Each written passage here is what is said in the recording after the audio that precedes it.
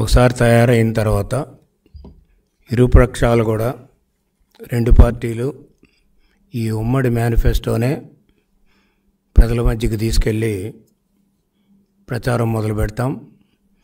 దాని మీద చంద్రబాబు నాయుడు గారి ఫోటో అదేవిధంగా పవన్ కళ్యాణ్ గారి ఫోటో ఈ పాయింట్స్ అన్నీ కూడా తీసుకెళ్ళి ప్రజల్లో చెప్పడం జరుగుతుంది. రెండో ఇష్యూ వచ్చేటప్పటికి ఈ రోజున రాష్ట్రంలో సమస్యలు చాలా ఉన్నాయి. సమస్యలు సృష్టించాడు జగన్మోహన్ రెడ్డి. లేని సమస్యలు కూడా సృష్టించాడు. అదేవిధంగా ప్రజలకు చాలా సమస్యలు ఉన్నాయి.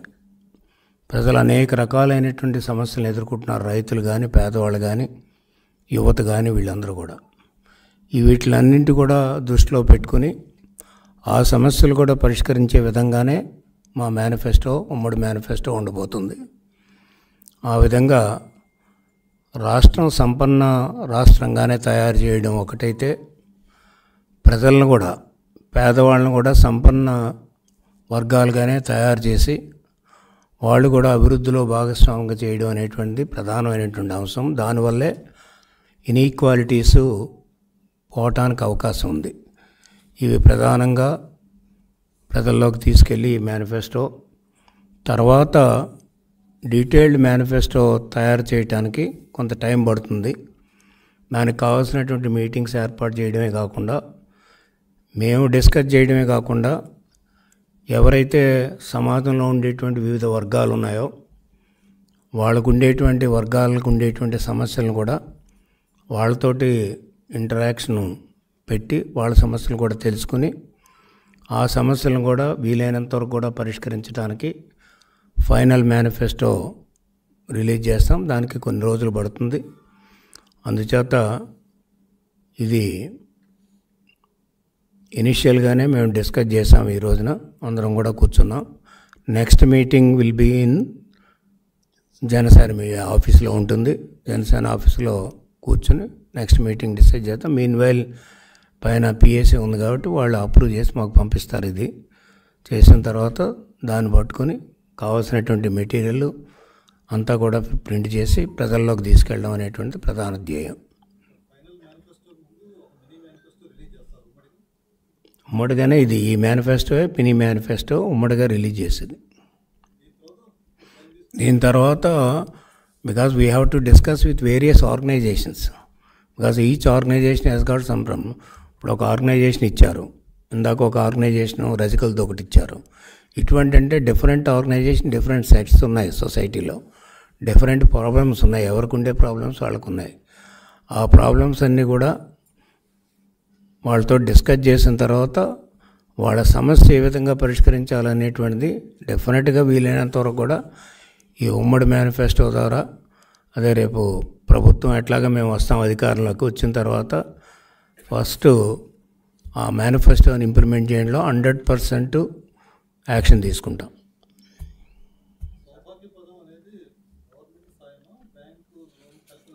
ఏదన్నా నో ఇది చెప్పింది ఈ పది లక్షలు చెప్పింది గవర్నమెంట్ సహాయం.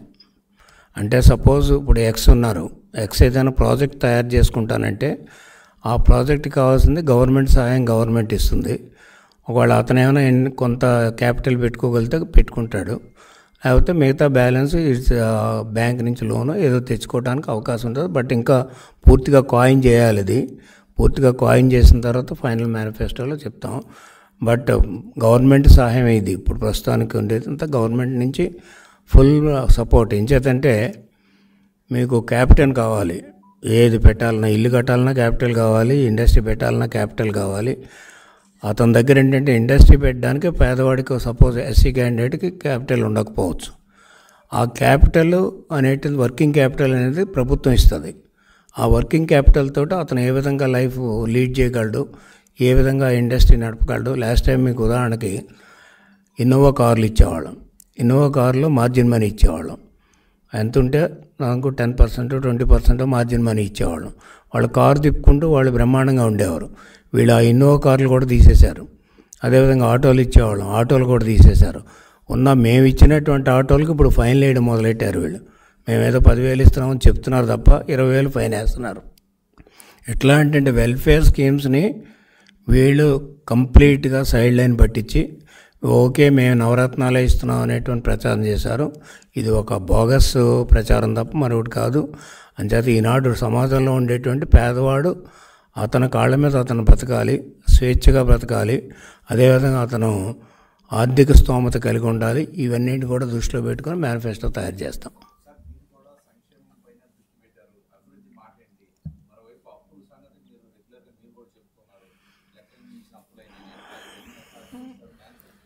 అందుకనే సంపన్న ఆంధ్రప్రదేశ్ అనేటువంటిది ముందు జరిగితే ఏం చేతంటే ఎకానమీ అనేటువంటిది డెవలప్ అయితే రెవెన్యూ పెరుగుతుంది.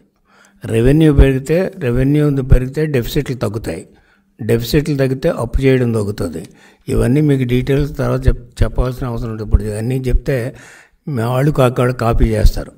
అంచేత రెవెన్యూ ఎట్లా పెంచాలో మాకు తెలుసు. రెవెన్యూ పెంచుతాం. ఆ రెవె పెంచినటువంటి రెవెన్యూ లాస్ట్ టైం కూడా మేము చెప్పింది ఏంటండి? రెవెన్యూ పెంచడం అది ప్రాపర్గా డిస్ట్రిబ్యూట్ చేయడం అమాంగ్స్ ది రిక్వైర్డ్ సెక్షన్స్ అనేటువంటిది.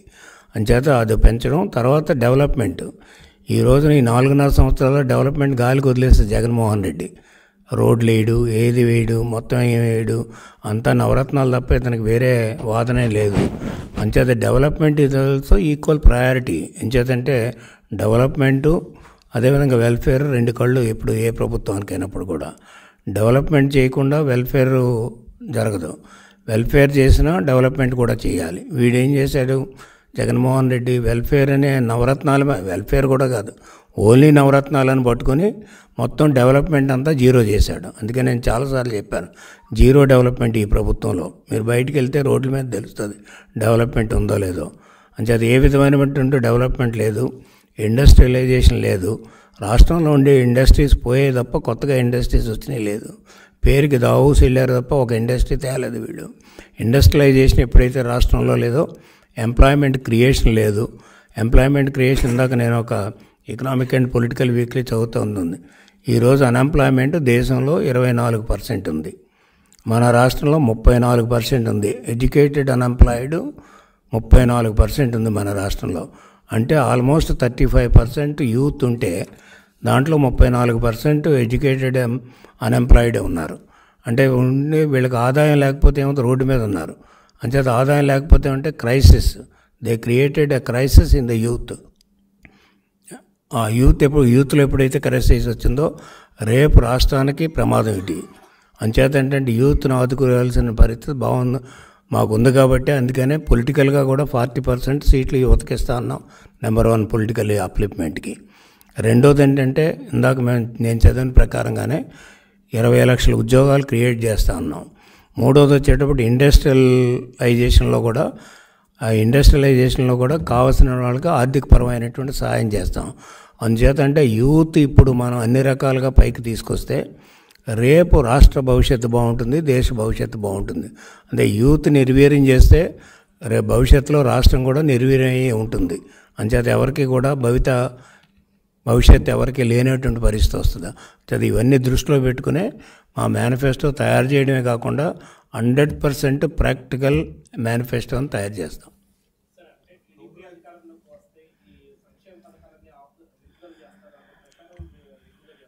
అవన్నీ పొలిటికల్ పొలిటికల్ ప్రచారం వాడు అలాగే జగన్మోహన్ రెడ్డి ఆల్రెడీ ఆఫ్ చేస్తాడు ఆఫ్ చేసినవన్నీ కూడా మళ్ళీ మేము రిస్టోర్ చేస్తాం. అవి కాకుండా ఇప్పుడు జరుగుతున్నటువంటి వాటిని కూడా స్ట్రెంగ్దన్ చేస్తాం. అంచేత అతను ఆల్రెడీ ఆఫ్ చేసి ఇందాక చెప్పాను కదా ఎస్సీఎస్ చూస్తే ఇరవై ఏడు ప్రో ఇరవై ఏడు వెల్ఫేర్ స్కీమ్స్ తీసేశాడు. అదేవిధంగా బీసీ చూస్తే దాదాపు పద్దెనిమిది ప్రో పద్దెనిమిది పదిహేడు ఉన్నాయి తీసేశాడు. అలాగే ఎస్టీ చూస్తే ఎనిమిది తీసేశారు. ఇలా టోటల్గా చూస్తే ఎన్ని చాలా స్కీమ్స్ అన్నీ కూడా తీసేసి మొత్తం ఈ ఈ తీసేయడమే కాకుండా సప్లాన్స్ అన్నీ కూడా మొత్తం ఆ అమౌంట్ అంతా డైవర్ట్ చేశాడు. అదేవిధంగా సెంట్రల్లీ స్పాన్సర్ స్కీమ్స్ వచ్చే డబ్బు అంతా కూడా వీడు మ్యాచింగ్ గ్రాంట్ ఇవ్వడం వల్ల అదంతా వేస్ట్ అయింది. కానీ దాన్ని వేరే విధంగా ఉపయోగించుకున్నాడు. అంచేత డెవలప్మెంట్ జీరో అయిపోయింది ఆంధ్రప్రదేశ్లో. ఇవన్నీ కూడా చూసిన తర్వాత ఓవరాల్గా మేము ఎగ్జామిన్ చేసిందో ఒకవైపు ఆర్థిక వ్యవస్థను పెంచడం ఒక రాష్ట్ర ఆర్థిక వ్యవస్థను పెంపొందించడమే కాదు. ఈ వ్యక్తి యొక్క ఆర్థిక వ్యవస్థ పేదవాడి యొక్క ఆర్థిక వ్యవస్థ పెరిగినప్పుడే ఈ దేశం ఈ రాష్ట్రం బాగుపడుతుంది. అది దృష్టిలో పెట్టుకుని మేము మేనిఫెస్టో తయారు చేస్తాం.